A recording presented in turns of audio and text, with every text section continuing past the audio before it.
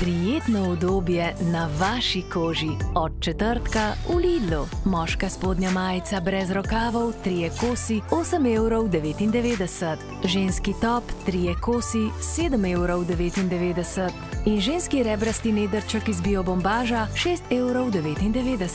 Lidl, preprosto več za vas.